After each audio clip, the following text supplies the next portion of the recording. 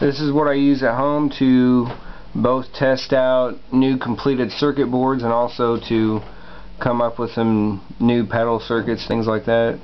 Uh, pretty simple, you can build one at home. This is just a 2x4.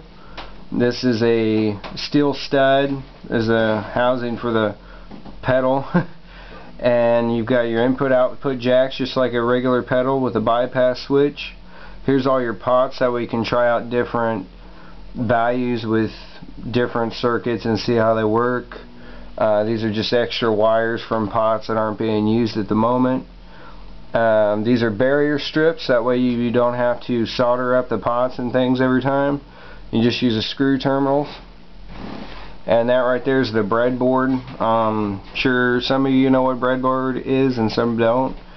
Um, sure there's other videos that can explain to you how to use a breadboard but this is what I use to design a circuit, come up with something, or just try some schematic I found on the internet.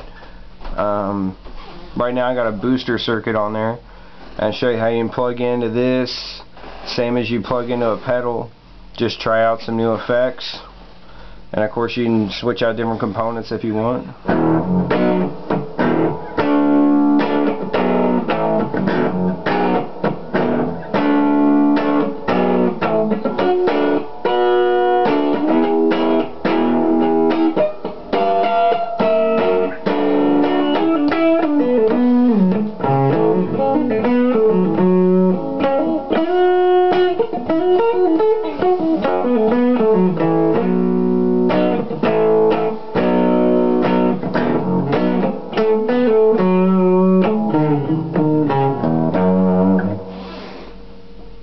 And I've got mine wired up for true bypass so that way you can really tell the difference without having to keep plugging it in and out of your amp.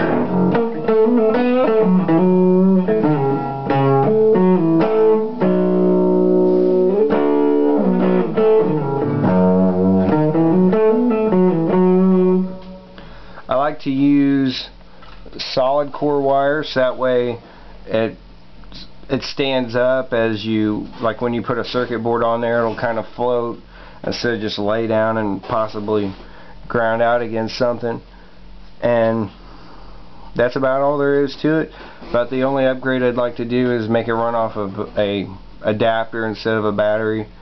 But that's something I always do later.